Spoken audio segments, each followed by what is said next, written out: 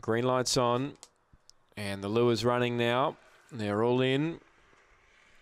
Set to run. And racing, Spring Harbour began only fairly, began a bit better than on the Tequila did, but meanwhile, Claretown Molly held the lead.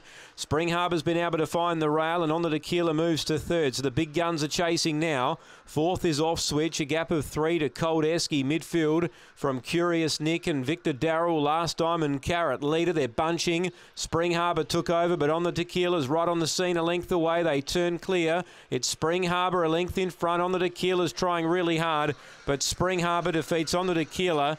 Six lengths to off switch. Then Curious Nick. Uh, Victor Darrell dropping out Cold Esky.